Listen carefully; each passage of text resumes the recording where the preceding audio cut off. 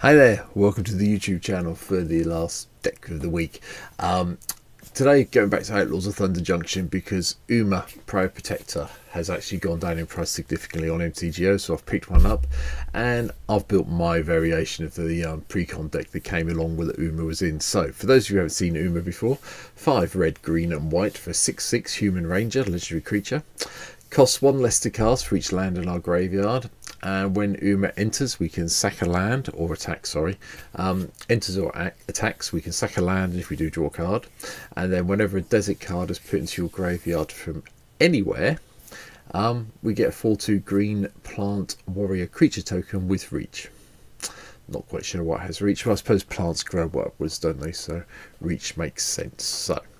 Um, today's deck is a bit of an unusual one for me because it's very heavy in lands and the support cards are all around about the lands more than anything else. So here we go. This is what today's deck looks like.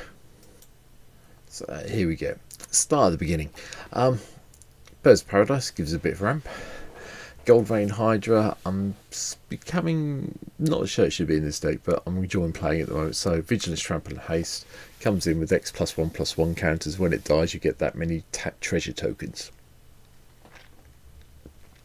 Lotus Cobra's here because we're playing so many lands, it makes sense to have this into ramp with. Of course, through Kruphix lets us just play lands off top of our library and gain some life.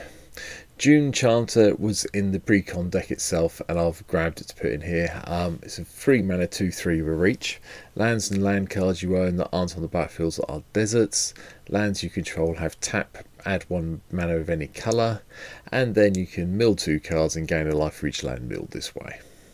It's a pretty solid creature. I would expect to see this turning up a lot in future green decks from everyone because of how good it is, especially 5 colour decks obviously. For, that was a stupid comment, but yeah, very good. um, Hazezon, Shaper of the Sand, comes in as well. Um, green and white and green, white and red. I'll get there for a 3-3. Um, and whenever a desert enters the battlefield under our control, we get a 1-2, 1-1 Sand Warrior tokens that are red, green and white creatures. Keeping on theme with the original version of Hazezon, who's a little bit further down. Nissa, Resurgent Animist, we might as well try and get some extra mana on the go, a bit like Lotus Cobra. Um, there's a few elementals, there's one or two other elves we can get in as well, so we may get the second trigger as well. But the extra mana is always helpful.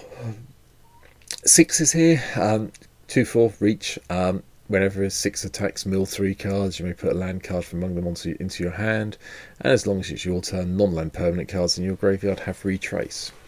Great way of getting your deserts into the graveyard with retrace and getting a 4-2 creature when you do that.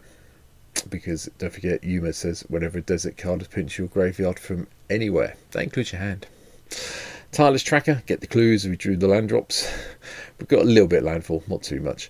Um, Titania, Voice of Gaea's here as well. Whenever more land cards are put into your graveyard from anywhere, you gain some life. And we have the other half to do the meld as well, further down. Turn Timber, Soa is also here. Whenever one more land cards are put into your graveyard from anywhere, you get a plant token. Again, this is another card from the pre-con that I've included. So this kind of it's not really the pre-con upgrade, it just grabs some of the good cards from it. And then we can sacrifice three creatures and return a land card from our graveyard to our hand. That's okay. Bloodbraid Elf, a little bit of Cascade fun.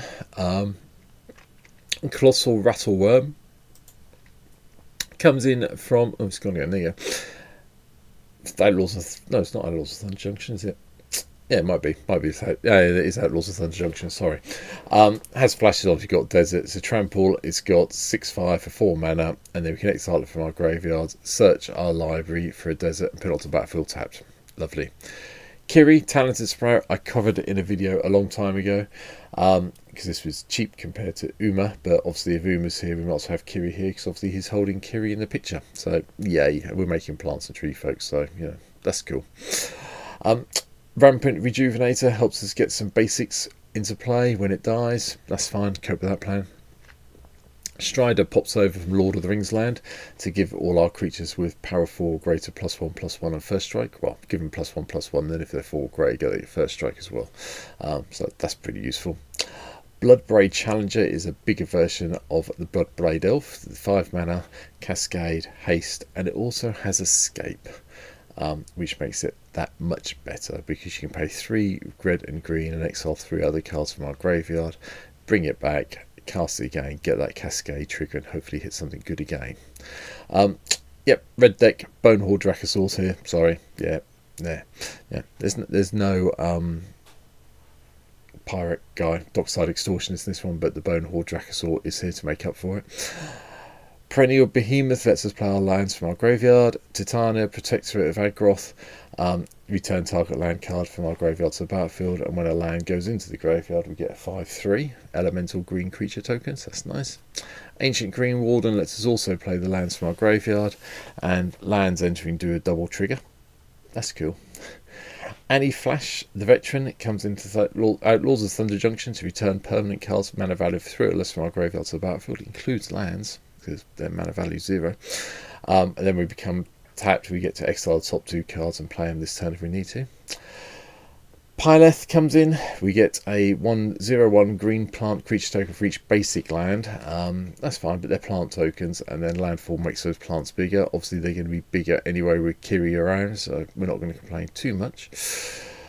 Rampaging Baloths had to be here, a little bit of landfall triggers, um, get the beasts when we drop the lands.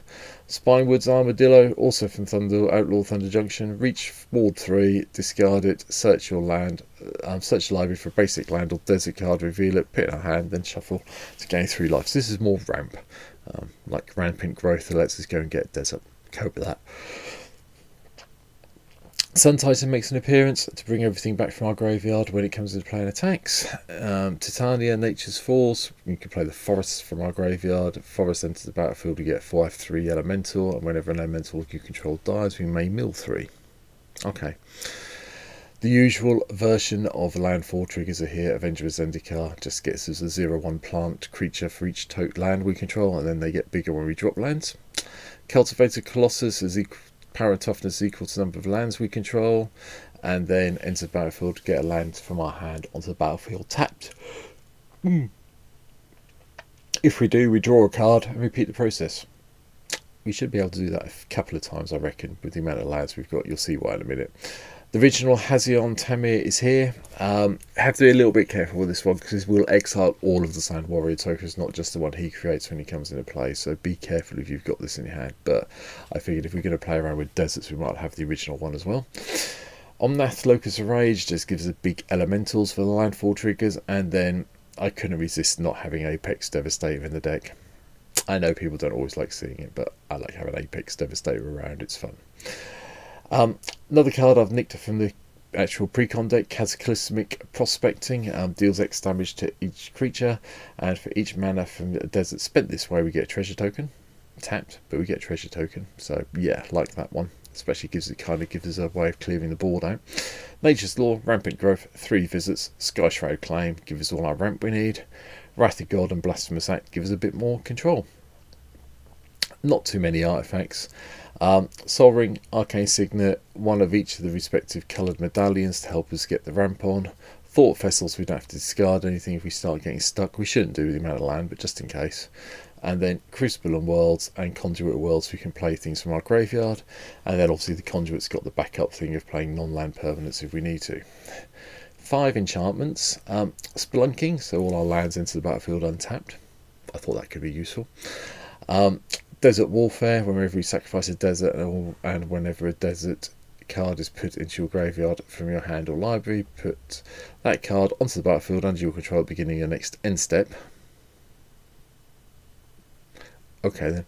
And at the beginning of combat on your turn, if we've got five more deserts, create that many 1-1 red, green and white sand warrior creature tokens. They gain haste. Yeah, okay then. That's pretty good enchantment, like this one. Right, Mending and Dominaria is also here to eventually we get this to trigger off at stage 3 and get all of our lands back into play. Zendikar's Roil gives us a whole load of 2-2 elementals when we do the landfall triggers, and then Waking the Trolls. Blow up other people's lands, get lands from our graveyard back onto the play, and then hopefully get a few 4-4 green troll warrior creature tokens out of it as well. Now, I did say we were playing a lot of lands. We are playing 47. Um, that is a lot, obviously. I usually have this 10 more than I usually have in any of my commander decks, but where Yuma is so keen on lands, I figured it was worth going all out on it, and I have done. Um, So, Abraded Bluffs, Arcade, Argrove Sanctums here, so we can do the Gaea Incarnate if we need to. Got quite a few search lands there in Mesa. Beautiful promenade, Vistling backwaters, so all of the new deserts that come in and deal damage an opponent are in. Um, along with a few other ones like the Butlik Ranch. We can't use, you know, it's just a desert for this case. Cactus Preserve, etc, etc. I'm not going to go through them all. You can look in the deck list down below. I have included the cyclers. They are all here, um, just so we can do a little bit of cycling if we need to. Um,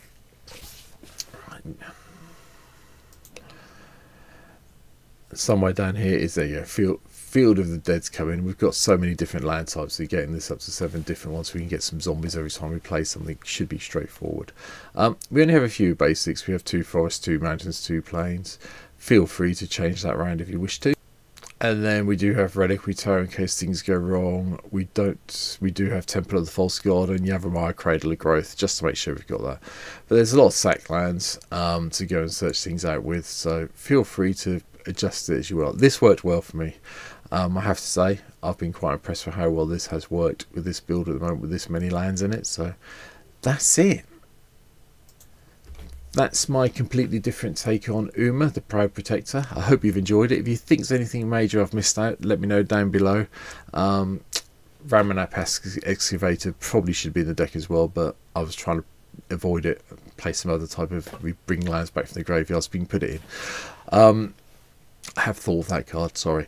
But anything else, let me know in the comments down below. Please hit the subscribe button, help me get a little bit closer to 500 if you can. I'd really appreciate it. And I'll be back next week, um, maybe with a couple of Assassin's Creeds, maybe with a couple of looks forward to Bloomburrow, since we're starting to see quite a few of the spoilers, as I recalled this one. But for now, thanks for watching, take care, and I'll see you next week. Come see me on the stream, sorry, down below, Twitch. Come watch me play some of these decks, it's fun. Okay, see you later. Bye.